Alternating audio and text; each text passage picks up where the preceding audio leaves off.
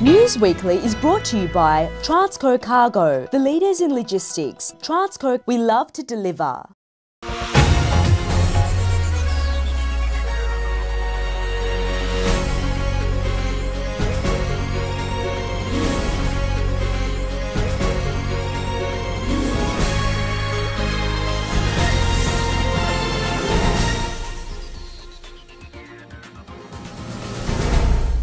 අයිබෝවන් සතියේ ප්‍රධාන ප්‍රෘති ප්‍රකාශය සමගින් මම චරණි බණ්ඩාර.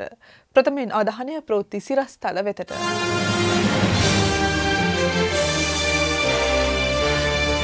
නගරේ පාසල් හොඳම පාසල් යැයි මව්පියන් තුළ මිත්‍යාවක් පවතින බව ජනපති කියයි. රිජු විදේශ ආයෝජන ගෙනවා ගැනීම අපහසත් වුවහොත් රටේ සංවර්ධිත ආර්ථිකයක් අපේක්ෂා කළ නොහැකි බව අග්‍රාමාත්‍ය රනිල් වික්‍රමසිංහ මහතාගෙන් ප්‍රකාශයක්. නව ජනාධිපති ලේකම් ඇතුළු පත්වීම් කිහිපයක් ජනපති අතින්. වත්මන් යහපාලන ආණ්ඩුවට කිසිදු ප්‍රතිපත්තියක් හෝ දර්ශනයක් නොමැති බව හිටපු ජනාධිපති මහින්ද රාජපක්ෂ කියයි.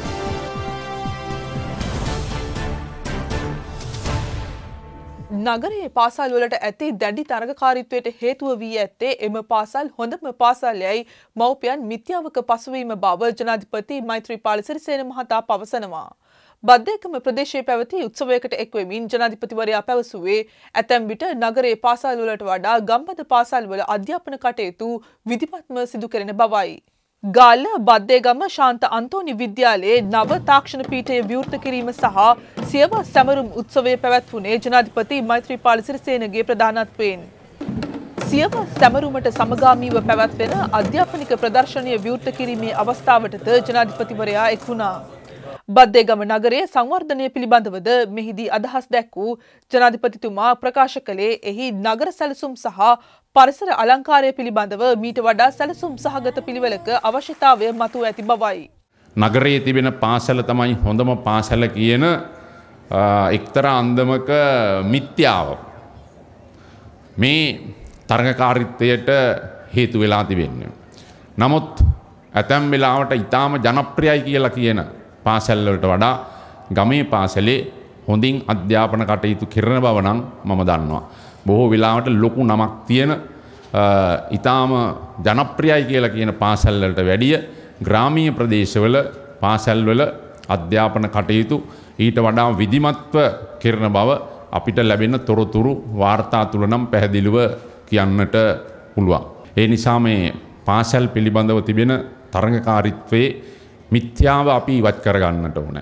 ශ්‍රී ලංකාවට රිජු විදේශ ආයෝජන ගෙන්වා ගැනීම සඳහා අවශ්‍ය මූලික ප්‍රතිසංස්කරන මේ මොහොතේ සිදු නොකරන්නේ නම් සංවර්ධිත ආර්ථිකයක් පිළිබඳ අපේක්ෂාවන් අමතක කර දැමීමට සිදුවන බව අග්‍රාමාත්‍ය රනිල් වික්‍රමසිංහ මහතා පවසනවා. ශ්‍රී ලංකාවේ ආයෝජන පරිසරය වර්ධනය කර ගැනීම සඳහා වූ සැලැස්ම එළි දැක්වීමේ අවස්ථාවේදී අග්‍රාමාත්‍යවරයා මේ බව සඳහන් කළා. අග්‍රමාත්‍ය රනිල් වික්‍රමසිංහ මහතා මේ පිළිබඳව අදහස් පළ කළේ ශ්‍රී ලංකාවේ ආයෝජන පරිසරය වර්ධනය කිරීම සඳහා වූ සැලැස්ම එළිදැක්වීමේ අවස්ථාවට එක්වෙමින්. උත්සවය අරලිය ගහ මන්දිරයේදී පැවැත්වුණා. මෙම සැලැස්ම ක්‍රියාත්මක කිරීම සඳහා පත් කළ කාර්යසාධක බලකායේ සාමාජිකයින්ට පත්වීම් ලිපි ප්‍රදානයද මෙහිදී සිදු කෙරුණා. මැති ඇමතිවරුන් ඇතුළු විශාල පිරිසක් එම අවස්ථාවට එක්ව සිටියා. Today, you are launching the roadmap on investment climate reforms. I must thank the World Bank and the Australian government for the support given to us in preparing this report. All we want everyone to be are competitive manufacturers and be competitive in the services you provide. Whether you export your goods or services is a secondary issue. The Ministry of Development Strategy and Finance will come up with a package of trade adjustment assistance. After all, the domestic market uh, manufacturers can go in for new uh, machinery for which incentives are given and secondly will help them through a trade assistance package.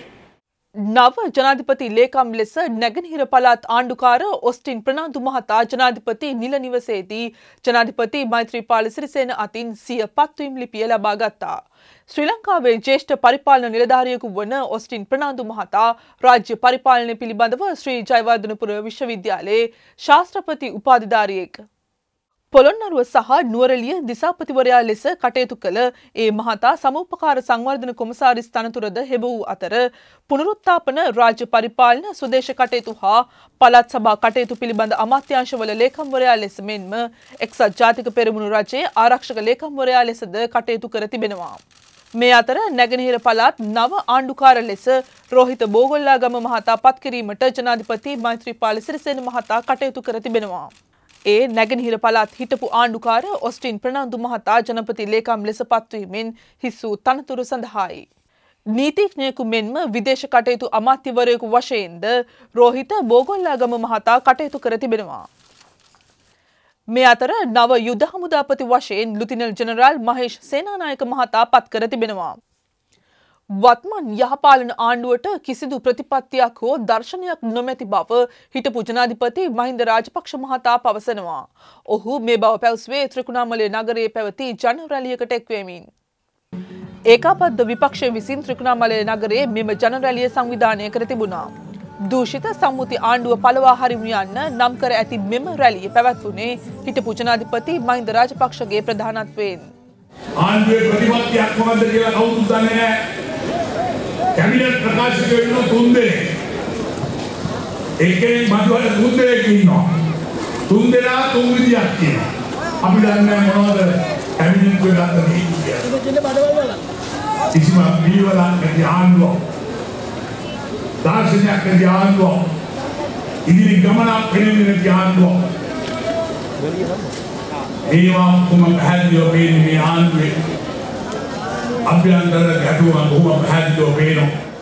ආණ්ඩුව විසින් යෝජනා කර ඇති නව බදු පනත මගින් දැනට බදුවලින් නිදහස්ව පවතින ආගමික සහ සමාජ සුභසාධන මධ්‍යස්ථාන සඳහාද බදු පැනවීමට සූදානම් වන බව ජාතික නිදහස් පෙරමුණ පවසනවා. එහි නායක පාර්ලිමේන්තු මන්ත්‍රී විමල් වීරවංශ මේ බව කියා සිටියේ මහනුවර තැපල් ශ්‍රවණාගාරයේ පැවති සම්මන්ත්‍රණයකදී. මේක තියෙනවා මේක තියෙනවා. මේ දෙකම ආදාරන්ති. කෙලින්ම අරන්නේ. කෝටි ගානක ණයක් දීලා ණය මගින් givisුමක් ගහලා givisුමෙන් පාලනය අරගෙන. ඊළඟට දැන් පත්තරයක් ගහනවා. මං අහගෙන පුදුම හිතෙන පත්තරය කියලා පෝස්ටරයක් ගහලා තිබ්බයි පත්තරේ. පුදුම හිතෙන්නේ නැද්ද පුදුම හිතෙන හොරකමකින් සල්ලි හම්බ කරලා. ඒ ඒ හොරකම් කරපු සල්ලි වලින් පුදුම හිතෙන හොරකමකින් කර හොයාගත්තු සල්ලි වලින් ගහන පත්තරේ පුදුම හිතෙන පත්තරයක් තමයි. පුදුම හිතන පත්තරයක්. අම්මපා. දැන් ඒ විදියට හොර හොරුන්ගේ සල්ලි ජන මතය මිනිස්සුන්ගේ මතය තීරණය කරන තැන තැනට තල්ලු කරගෙන යනවා.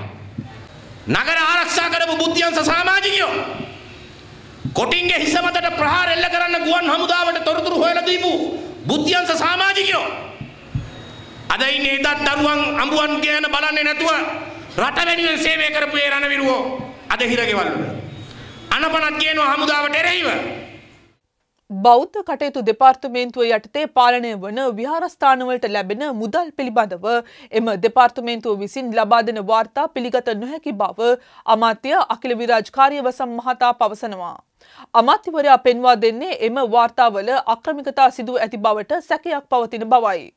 කොළඹ පැවති මාධ්‍ය හමුවකට එක්වමින් අමාත්‍යවරයා මෙම අදහස් පළ කළා. දැන් ඒකට අනුව පන්සලෙන් දෙදහය පෙන්නනවා ආදායම ලෙස වර්ෂයම විසි නම ලක්ෂ දහනම් දස් නමසීය. එතොට දෙදස් පහලවෙත් පෙන්න්නන්නේ විසි නම ලක්ෂ හැත්ත එක්දාහයි. එතකොට දැන් අපි පැහැදිලිව දන්නවා අපේ නියෝජිතය දාලා අපි කරපව දවසකට හම්බෙන මුදල මංකව මේ ලක්ෂ විස්සත් ලක්ෂ අසුවත් අතර ප්‍රමාණය කම්බෙනවා දවසක. දවසක ආදායම අඩුම ගානේ අවුරුද්දටවත් පෙන්නලා නැහැ. ඒක ඇත්ත කතා. එතකොට මේ සම්පූර්ණ බෞද්ධ කටයුතු කොමසාරිස්වරයා වග කියන්න නැත්නම් මේ විගණනය හරියට කරලා නැහැ. අපි ඒගොල්ලන්ට දැනුම් දීලා තියෙනවා. ඒගොල්ලෝ තමයි මේව අනුමත කරලා ඉවලා තියෙන්නේ මේ මේ ප්‍රමාණය දෙන්න කියලා. මට නම් හිතෙන්නේ මේවට නිලධාරීනුත් සම්බන්ධයි. මේ වර්තමාන කොමසාරිස්වරයා නෙමෙයි. නමුත් මේවට නිලධාරීනුත් සම්බන්ධයි. මේ ඔක්කොම එකතු වෙලා තමයි කන්නේ. මෙතන එතකොට මේ සම්බන්ධයෙන් මම රජයේ අමාත්‍යවරයෙක් විදිහට කටයුතු කිරීම වැරදිද කියලා මම අහනවා. විශ්වවිද්‍යාල තුළ විවිධ මතධාරීන්ට තිබූ නිදහස අහිමි කළේ ජනතා විමුක්ති පෙරමුණ බව සමාජ සවිබල ගැන්වීම සුභසාධන හා උඩරට උරුමය පිළිබඳ අමාත්‍ය SB දිසානායක පවසනවා. එවැනි මතධාරීන් නිසා අතීතයේ විශ්වවිද්‍යාලවල තිබූ දේශපාලන සංවාද අද පෙරටුගාමින් හා ජනතා විමුක්ති පෙරමුණ විසින් විනාශ කර ඇද්දැයි ඇමතිවරයා පැවසුවේ හේවාගැට උඩුවෙල මහාවිද්‍යාලයේ නව තාක්ෂණ විද්‍යාගාර විවෘත කිරීමේ උත්සවයට එක්වෙමින්. ඒ විවිධ මතධාරීන්ට විශ්වවිද්‍යාල තුල ඉන්න තිබ්බ නිදහස නැති කරේ ජනතා විමුක්ති පෙරමුණ. කිසිම වෙනත් දේශපාලන මතයක් දරන ළමයෙකුට විශ්වවිද්‍යාල තුල ඉන්න දුන්නේ නැහැ ජනතා විමුක්ති පෙරමුණ. මම ලංකාවේ පළවෙනි අන්තර් විශ්වවිද්‍යාල බල මණ්ඩල සභාපතිවරයා. අපේ කාලේ විවිධ මතදරපු විවිධ විප්ලවවාදී සමාජවාදී මාක්ස්වාදී මතදරපු කණ්ඩායම් 10ක් 15ක් එන්න විශාල දේශපාලන සංවාදයක් තිබ්බා. අද මේ දරුවන්ට සමාජවාදී උගන්වන ඔය ඔය පෙරට ගවුම් පක්ෂය. ඒ නිසා ඒ දරුවෝ පෞද්ගලික අධ්‍යාපනයට සම්පූර්ණයෙන්ම විරුද්ධයි. ඒ නිසා මේ දරුවෝ පෞද්ගලික ව්‍යාපාර වලට සම්පූර්ණයෙන් විරුද්ධයි. ඒ නිසා මේ දරුවෝ පෞද්ගලික උසස් අධ්‍යාපන ආයතන වලට සම්පූර්ණයෙන් විරුද්ධයි.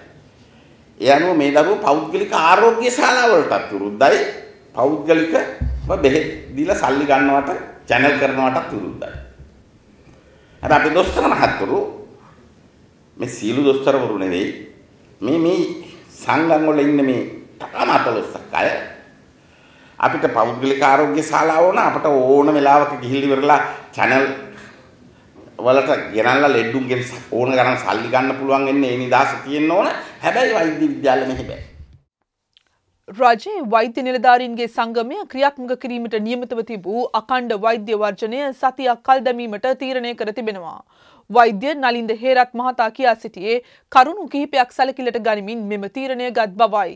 අපි මේ කරන සටන වෛද්‍යවරුන්ගේ සටනක් නෙමේ. වෛද්‍යවරුන්ගේ ඉල්ලීම් දිනා ගැනීම සඳහා කරන සටන නෙමේ. ඒක බොහොම පැහැදිලි. ඒතර මේ සයිටම් විරෝධී එහෙම නැත්නම් සයිටම් එපා එහෙම නැත්නම් සයිටම් අහෝසි කරන්න ජනසතු කරන්න කියන මේ ඉල්ලීමත් එක්ක අපි මේ ගෙන යන සටන ජනතාව වෙනුවෙන් කරන සටනක්. අපි දිනපතා රජයේ වෛද්‍යාරික සංගමේ විධායක සභාව රැස් වෙලා සමාලෝචනය කරනවා. ඒ අනුව ඉදිරි සතියේ කාලය අපි කියනවා රටට ඉතාමත්ම තීරණාත්මකයි. අපිට අපි මේ වෙනකොට අවස්ථාව දීලා තියෙනවා බලධාරීන්ට අපේ තියෙන ඕනකම පෙන්නලා තියෙනවා මේ ප්‍රශ්නය ජනතාවට අපහසුතාවයක් නොවන විදිහට ජනතාව ජයග්‍රහණය කරන විදිහට මේ ප්‍රශ්නේ නිමා කරන්නේ කොහොමද කියලා. ඒ නිසා අපි බොහොම බොහොම කරුණාවෙන් මේ රටේ වගකීතු බලධාරීන්ගේ ඉල්ලා සිටිනවා මේ තියෙන අවස්ථාව පැහැර හරින්න එපා. ඒ නිසා කරුණා කළා මේ අවස්ථාවට අනුගත වෙන්න අපි ලැහැස්ති සාකච්ඡාවට මේ සාකච්ඡාව හරහා අපි සියලු දෙනා එකතු වෙලා මේ රට ජයග්‍රහණය කරවමු මේ රට ජනතාවගේ ජීවත්වීමේ අයිතිය සුරක්ෂිත කරවමු කිය. මේ අතර මාලබේ පෞද්ගලික වෛද්‍ය විද්‍යාලය වසා දැමීමට අවශ්‍ය වුවත් එය සිදු කළ නොහැකි බව උසස් අධ්‍යාපන හා මහාමාර්ග අමාත්‍ය ලක්ෂ්මන් කිරියල්ල පවසනවා. අමාත්‍යවරයා මේ බව කියා සිටියේ මහනුවර ප්‍රදේශයේ පැවති උත්සවයකදී. අයිට මේ පටන් ගත්තේ කවුද? මහින්ද රාජපක්ෂ මැතිතුමා. ඇයි එතුමා මේක පටන් ගත්තේ මේක රටට අවශ්‍ය නිසා. පෞද්ගලික උසස් අධ්‍යාපන ආයතන රටට අවශ්‍යයි. ඒකයි එතුමා ඒක පටන් ගත්තේ. අපි එතුමාට දොස් කියන්නේ එතුමා පටන් ගත්ත විතරක් නෙවෙයි මිලියන 600ක් සල්ලි දුන්නා. එතකොට එතුමාලා පටන් ගන්න කාලේ මේකට කවුරුවත් විරුද්ධ වුණේ නැහැ. මේ නව යහපාලන ආණ්ඩුව ආවයින් පස්සේ තමයි අවසාන විභාගෙට ඉඳගත්තේ ළමයි අවුරුදු 5ක් ඉගෙනගෙන. දැන් සමහරු කියනවා මේක වහන්න කියලා. මේක අපිට වහන්න ඕනුනත් වහන්න බෑ. මොකද මේ අයට පක්ෂව උසාවි තීන්දුවක් තියෙනවා. මෙරට තාක්ෂණ ශේත්‍රයේ අභ්‍යාසලාබීන් සඳහා විදෙස් රටවල පුහුණුව ලබාදීමේ වැඩපිළිවෙලක් රජය ආරම්භ කර ඇති බව සම කැබිනට් ප්‍රකාශක ගයන්ත කරුණාතිලක මහතා පවසනවා. අමාත්‍යවරයා සඳහන් කළේ ශ්‍රී ලාංකික තරුණයින්ට ඉදිරියේ ජපන් සමාගම්වල පුහුණුවක් ලබා ගැනීමට කටයුතු සූදානම් කර ඇති බවයි. කොළඹ පැවති කැබිනට් මණ්ඩල තීරණ දැනුම් දීමේ මාධ්‍ය හමුවේදී අමාත්‍යවරයා මේ බව සඳහන් කළා. තාක්ෂණික ශේත්‍රයේ අභ්‍යාසලාභී මෙරට තරුණයන් සඳහා ජපානයේ සමාගම්වල සීමාවාසික පුහුණු අවස්ථාවක් ලබා දීමට ජපානයේ මිනිස්බල සංවර්ධන ආයතනයක් සමග අවබෝධතා ගිවිසුමකට එළඹීමට විදේශ රැකියා අමාත්‍ය තලතා අතුකෝරළ මැතිතුමිය ඉදිරිපත් කරපු යෝජනාවත් ඇමති මණ්ඩලය අනුමත කළා. උමාඔය ව්‍යාපෘතියේ ඉදිකිරීම් හේතුවෙන් තම ප්‍රදේශ අවධානම් තත්ත්වයකට පත්ව ඇති බවට ප්‍රකාශ කරමින් බණ්ඩාරවෙල නගරේ විරෝධතාවක් පැවැත්වුණා. ඉහළ වූයේ පරිසර පද්ධතිය මෙම ව්‍යාපෘතිය තුළින් මුළුමනින්ම විනාශ වන බවයි ජනතාව චෝදනා කළේ. උමාය ව්‍යාපෘතිය කැනීම් හේතුවෙන් තම නිවාස ඉරිතලීම් හා පිපිරීම් වලට ලක්ව ඇති බවටද ඔවුන් චෝදනා කරනවා. උමාවය ව්‍යාපෘතිය ආරම්භ කළේ දෙදහස් නමය වසරේදී. ව්‍යාපෘතිය ආරම්භයේදීම ජනතාව මීට විරෝධය දක්වමින් කරුණු ඉදිරිපත් කළත් එවකට රජය ඒවා පිළිබඳ අවධානය යොමු නොකළ බවයි උද්ඝෝෂණය නිරත වූ ජනතාව චෝදනා කළේ. ඒ සමගින් ප්‍රතිප්‍රකාශය නිමවට පත්වනවා. මෙම ප්‍රතිප්‍රකාශය නැවත නැරඹීම සඳහා යොමුවන්න අපගේ ශ්‍රී ලංකා මෝනින් ෂෝ YouTube චැනලය වෙතට. ඔබට සුබදායි සතියක්. ආයිබෝවන්